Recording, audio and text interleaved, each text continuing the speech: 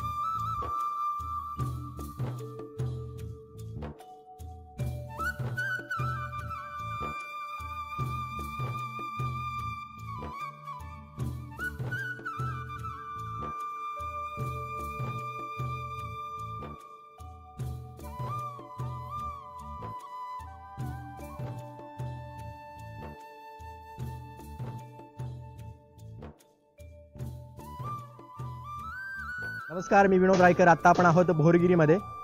आज आपण या ठिकाणी रानभाज्या महोत्सव पाहण्यासाठी आलो होतो आणि ह्या रानभाज्या महोत्सवाचा या ठिकाणी आनंद लुटत असताना आपण या ठिकाणी पाहिलेला आहे हा माठ. खरं तर हा जो माठ आहे या माठावरती आपण पाहिलं तर अनेक कडधान्य जे आहेत ते चिटकवलेले आहेत. खरं तर डोळस साहेब जे आहेत यांनी ही कलाकृती या ठिकाणी तयार केलेली आहे. खरं तर डोळस साहेब ही कलाकृती तुम्ही तयार कशी केली? काय कशी संकल्पना तुम्हाला ही सुचली? अ, नमस्कार अ, माझं नाव सुभाष डोळस अ, मी भीमाशंकर इथलाच आहे. आणि कल्पवृक्ष म्हणून संस्था आहे. अ, जी कल्पवृक्ष म्हणून संस्था आहे त्या संस्थेमध्ये गेली एक मी आठ दहा वर्षापासून काम करतोय.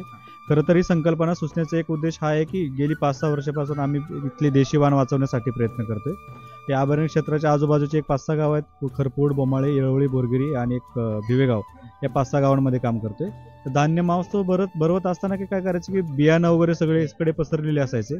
तर कुठेतरी एका ठिकाणी ती बियाणं कशी पाहता येतील ह्या हिशोबाने आम्ही एक याचा एक उद्देश केला. या ठिकाणी जाऊन असे कार्यक्रम पाहिले तर बऱ्याचशा कार्यक्रमांमध्ये हे, धान्य महोत्सव भरलेले होते. मग त्यातून वेगळे पण काय करता येईल मग त्यात ही कल्पना सुचली की नाही आपण एक असा एक वेगळा माठ घेऊयात.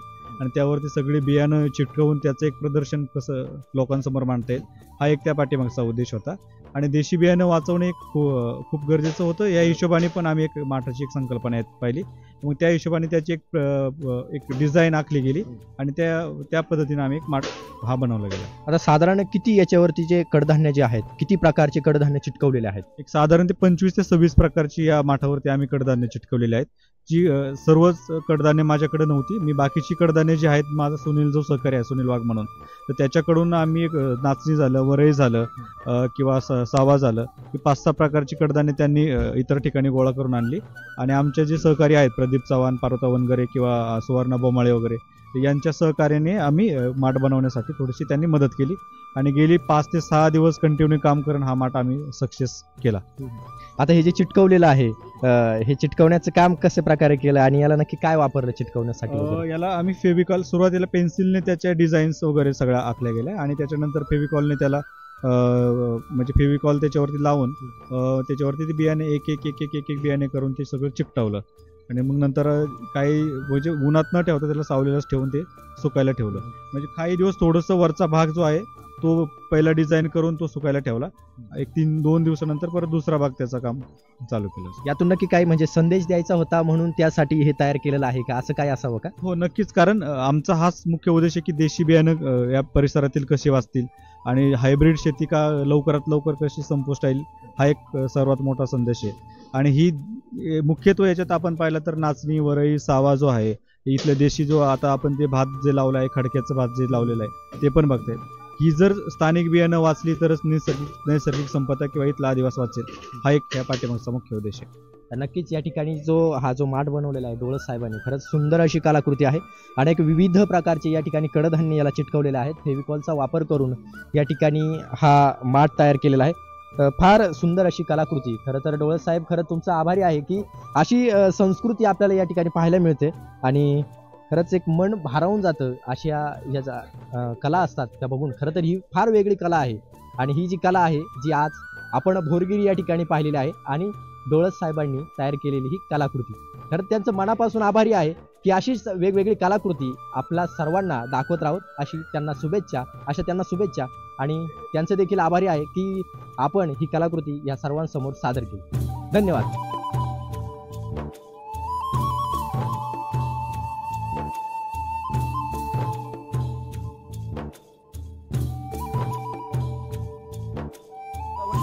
या ठिकाणी हा महोत्सव आयोजित होतोय. खरं तर सरांकडून आपण जाणून घेतोय. खरं तर सर ही जी संकल्पना आहे तुम्हाला सुचली कशी?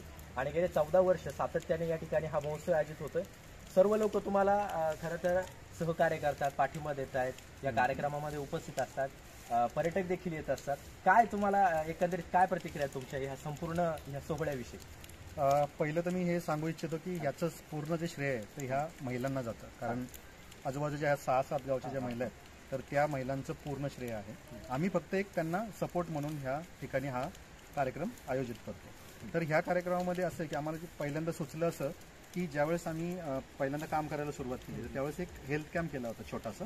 आणि त्या हेल्थ चेकअपमध्ये असं आढळलं की इथल्या महिलांमध्ये खूप डेफिशियन्सी आहे. म्हणजे रक्ताची डेफिशियन्सी आहे किंवा वेगवेगळ्या आजारांना बळी पडण्याची जास्त लक्षणं दिसत आहेत किंवा वेगवेगळ्या न्यूट्रिशनल डेफिशियन्सी त्यांच्यामध्ये जाणवते. तर त्याच्यामुळे मग आम्हाला वाटलं की नाही हे कुठेतरी काहीतरी वेगळं कारण आहे की ज्याच्यामुळे ही डेफिशियन्सी आढळते. तर मग आम्ही वयस्कर लोकांना विचारलं. तर ते म्हणले की नाही आजकाल जे रानभाज्या किंवा जे जंगलातून मिळणारी कंदमुळं किंवा जे काही फळं वगैरे आहेत तर ते खाण्याचं प्रमाण पूर्ण संपलेलं आहे लोकांचं. म्हणजे आता महिला किंवा जे तरुण पिढी आहे तरुण महिला तरुण पिढी तर ते आता जंगलामध्ये जाणं किंवा हे करणं ते पसंत करत नाही. आता जसे भोरगिरीमध्ये तुम्ही या ठिकाणी हा सोहळा आयोजित केलाय अ, हा रानभाज्या महोत्सव आयोजित केलाय. हम्म. तसं इतर भागामध्ये देखील हा महोत्सव असतो का? हा कार्यक्रम असतो का? आणि कोणकोणत्या ठिकाणी असतो? काय सांगा हो. म्हणजे आम्ही जे सहा सात गावांमध्ये काम करतो भोमाळे भोरगिरी खरपूड मसेवाडी भिवेगाव येळवळी आणि भोरगिरी. तर ह्या सगळ्या गावांमध्ये आम्ही पूर्वी असं करायचं की चार गावांमध्ये हा दरवर्षी रानभाज्या महोत्सव व्हायचा. पण आता कोरोनाच्या काळापासून आम्ही ठरवलं की नाही सगळं एक प्रत्येक गावामध्ये वेगळं होण्यापेक्षा एकच ह्या सहा गावांमध्ये एकच प्रोग्राम करायचा पण रोटेशनल करायचं. म्हणजे आज भोरगिरीमध्ये झालं तर दुसऱ्या दिवशी दुसऱ्या वर्षी भोमाळ्यामध्ये होईल तिसऱ्या दिवशी दिवेगावमध्ये होईल. असं रोटेशनली ते करायचं असं अशा. प्रकारे हे कार्यक्रम आयोजित होतात. आता या ठिकाणी पर्यटक येतात. हा. पर्यटकांचा सहभाग कशा प्रकारे असतो? चांगल्या प्रकारे सहभाग असतो का पहिली काय परिस्थिती होती? आणि आताची काय परिस्थिती आहे? काय सांगाल? म्हणजे अ, पर्यटक सहभाग हा वाढलेला आहे का? काय सांगाल? हो पर्यटकांचा सहभाग नक्कीच वाढलेला आहे. पूर्वी खूप कमी पर्यटक यायचे आणि पर्यटक बोलवण्या पाठीमागं पण आमचा उद्देश होता की गावातली जी तरुण पिढी आहे ना त्या तरुण पिढीला इथलं जे खाणं आहे किंवा जंगली खाणं आहे तर ते खूप इन्फेरियर वाटायचं. इन्फेरियर म्हणजे त्यांना न्यूनगंड होता. किंवा आमचं जे काही नाचणीचं भाकरी असेल किंवा गडूळ तांदूळ असेल तर हे कुठेतरी मागासलेपणाचं लक्षण आहे. बरोबर. त्यामुळे ते खात नाही खात नव्हते. तर त्यामुळे मग आम्हाला असं वाटलं की नाही लोकांना काही या तरुण पिढीला त्याची थोडी जाणीव पण झाली पाहिजे. त्याच्यामध्ये काय काय न्यूट्रिशनल फॅक्टर्स आहेत किंवा मेडिसिनल प्रॉपर्टी काय काय आहे याची पण जाणीव झाली पाहिजे. तर त्याच्यामुळे मग आम्ही काय केलं की एकतर बाहेरून काही डॉक्टर्स बोलवायचे की ज्यांनी ह्या भाज्यांबद्दलचं थोडंसं औषधी गुणधर्म सांगावे आणि पर्यटक बोलवायचे. पर्यटक का तर शहराच्या ओढ लोकांना इथल्या खूप जास्त असतात. मग शहरातले लोक जर इथं आले आणि त्यांनी ही चवीने भाज्या खाल्ल्या तर त्यांच्यामधला जो इन्फेरियोरिटी कॉम्प्लेक्स आहे तो कमी करण्यासाठी त्या गावातल्या लोकांचा. तो कमी करण्यासाठी हे खूप महत्त्वाचं आहे. त्यामुळे त्यांना असं दाखवून देता येतं की नाही बघा शहरातल्या लोकांना या भाज्यांबद्दल खूप आत्मीयता आहे. मग आपण का नाही ती आत्मीयता दाखवावी? म्हणून रानभाजी उत्सव करण्यापाठीमागे सगळ्यात महत्त्वाचा उद्देश हा होता की रानभाज्यांप्रती जी आत्मीयता आहे त्या त्याच्याबद्दल एक आदर व्यक्त करण्यासाठी आणि ह्या रानभाज्यांबद्दल जास्तीत जास्त अवेअरनेस गावा पातळीवरती आणि शाळेतल्या मुलांमध्ये आणि तरुण पिढीमध्ये व्हावा.